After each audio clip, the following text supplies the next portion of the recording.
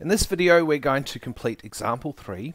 We're going to be adding and subtracting fractions by rationalizing the denominator first. So we'll start with question A. Looking at the first fraction it has a denominator which is the square root of 3.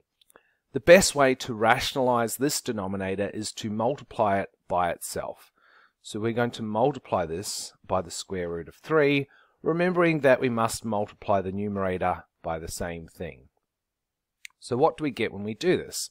Well, root 3 times 2 will simply give us 2 root 3. And for our denominator, root 3 times root 3 will simply give us the whole number of 3. Looking at our second fraction here, you will notice that our denominator has two terms.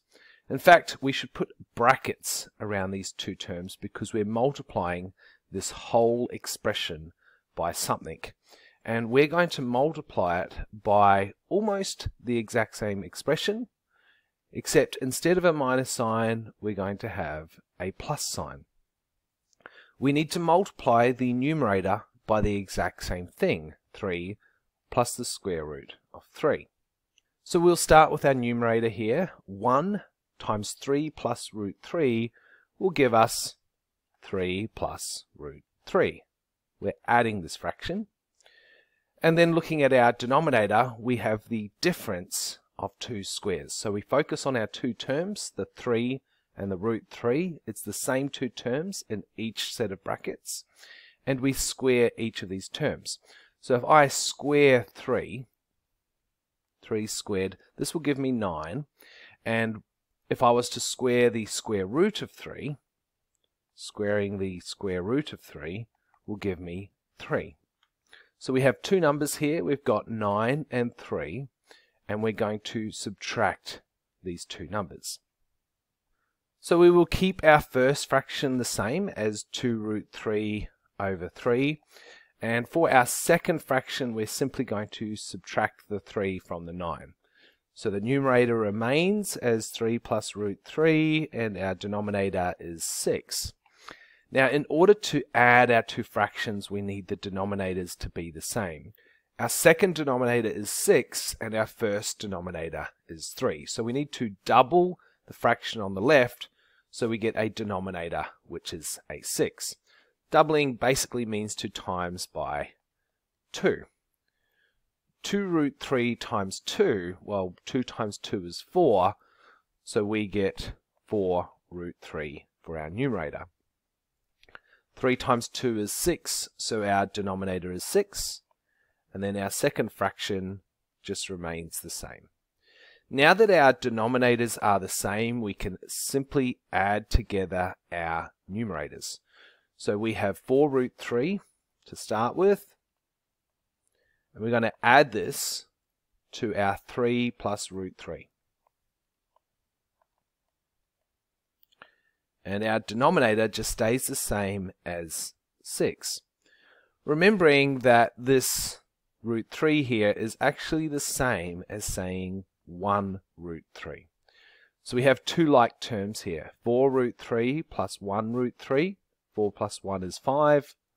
So we get 5 root 3. We also had our plus 3 here, which stays separate. And this will all be over 6. Okay, let's now move on to question B. Once again, we have two fractions. This time we're subtracting them. You'll notice that both sets of denominators have two terms. So we'll start with the first fraction we're multiplying this whole expression here by something that is almost exactly the same. 2 root 10. Instead of plus, it's going to be minus 6. Remembering that we need to multiply the numerator by the exact same thing. So we'll start with our numerator here. 2 root 10 minus 6 times 1 simply gives us 2 root 10 minus 6. Okay, now looking at our denominator, we've got two terms, 2 root 10 and 6. It's the same two terms for each set of brackets. So I'm going to square these terms separately. So we have 2 root 10. What do I get when I square 2 root 10? Well, 2 times 2 is 4. And when I square a square root, I go back to the original number of 10. So we get 4 times 10. That gives us 40. The other term we're squaring is the 6. So 6 squared is 36. So we have two numbers here, 40 and 36, and we're going to subtract them. 40 minus 36. All right, now looking at the second fraction. What are we going to multiply this fraction by? Well, focusing on our denominator, we're going to be multiplying by something that is almost the same expression, except instead of a minus, it's going to be a plus. And we need to multiply the numerator by the exact same thing. So what do we get when we multiply 1 by 4 plus root 10? Well, quite simply, we get 4 plus root 10. For our denominator, we're going to square our two terms, the 4 and the root 10. It's the same two terms we have in each set of brackets. So if I square the 4, 4 times 4 is 16, and if I square the square root of 10, when I square a square root, I go back to the original number of 10. So my two numbers are 16 and 10, and I'm going to subtract them. 16 minus 10. Okay, so looking at the first fraction, 40 minus 36 is 4.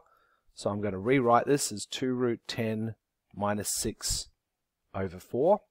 For my second fraction, 16 minus 10 is 6. So I'm going to have 4 plus root 10 over 6. Alright, we're at the point where we want to make the denominators the same most people would look at this and try and make the denominators 12. They would try to double the 6 and triple the 4. I'm going to take a different avenue for this. I'm going to start by simplifying this fraction. And the reason I'm doing this is I noticed I have even numbers here, a 2, a 6, and a 4. When they're all even, you can divide them all by 2. I can divide my denominator by 2, and I can divide my numerator by 2 as well. So starting with our numerator, if I have 2 root 10 and I divide it by 2, it's just going to be 2 divide 2, which is 1, and then the root 10 stays the same. Looking at the 6, 6 divide 2 is 3, so we simply get minus 3. And for our denominator, 4 divide 2 is 2. And then our second fraction remains the same. Now the reason this is a good move is because now I simply need to multiply the first fraction by 3 in order to make the denominator 6. So we times both the top and the bottom by 3.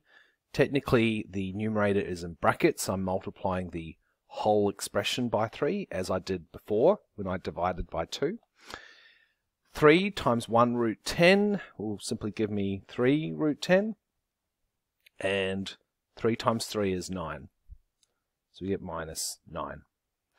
Our denominator is 6, and our second fraction remains the same, 4 plus root 10 over 6.